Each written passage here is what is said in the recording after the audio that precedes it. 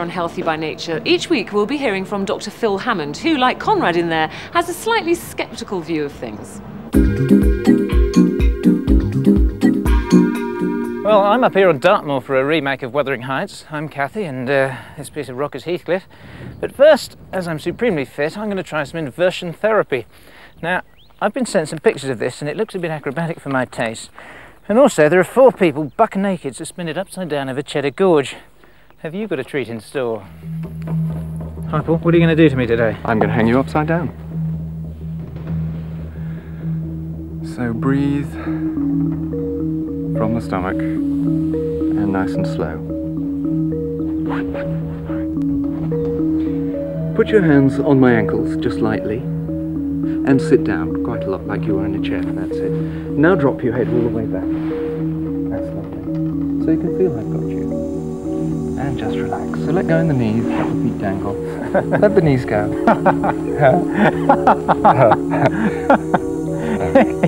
So let go of the hands, let the arms come over, all the way over. And now bring your legs wide apart and straight. And keep them wide apart. Will they go wider? That's it. Keep them wide apart, keep them straight, and bring them up and over to the front of your body. All the way over. More, more, more faster.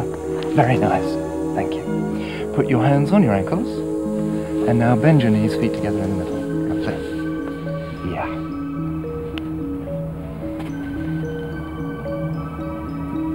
And We'll put the strap on you just for a moment. Put your hands down through there. Hold on the strap and over the feet.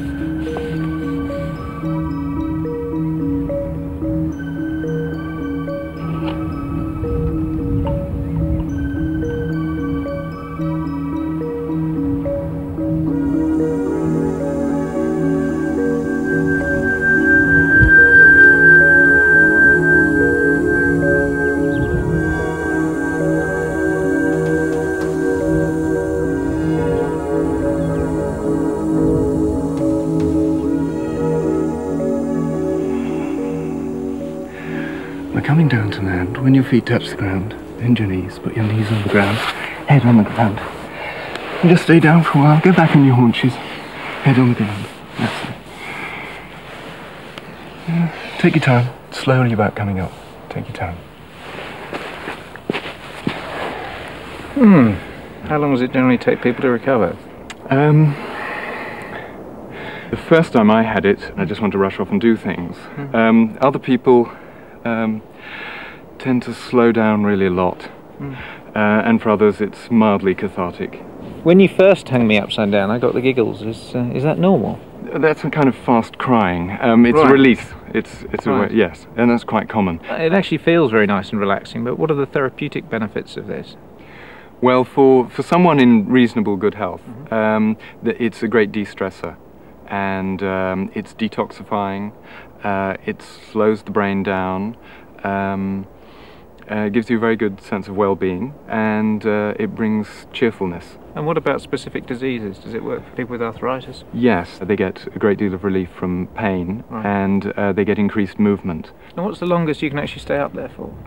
Uh, some people like to be there for half an hour or more. Because it felt very comfortable. Yeah. It was. I was surprised. I thought I'd get a rush of blood to the head and, and my head would explode, but in Mm. fact I didn't feel that. Why was that?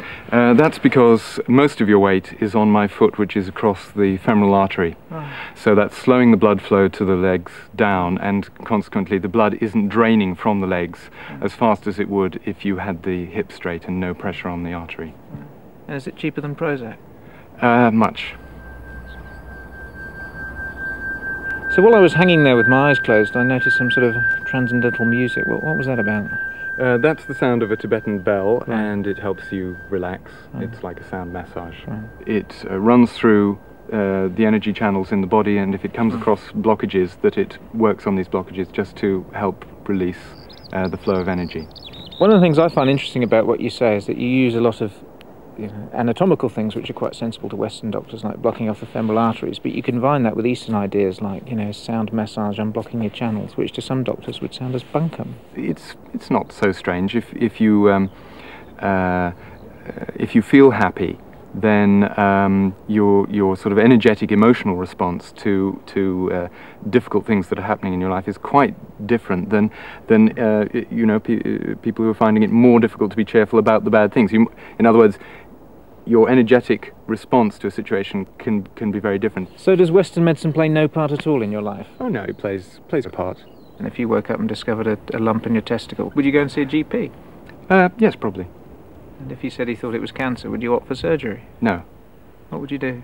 Um, I would pray a lot. Right. I would I would pray more. I would meditate more. Probably I would change go uh, spend much more time on my diet. Um, I mean, I would say you must be completely barking from my perspective. I mean, that's because of my training. But and if you fell on your bell and broke your leg, where would you go? I, I would go to the nearest hospital. so here I am, lying on Heathcliff.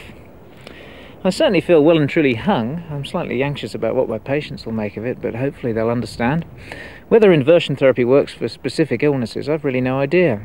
It's certainly very relaxing, but then so is lounging on a rock on a sunny spring afternoon. Música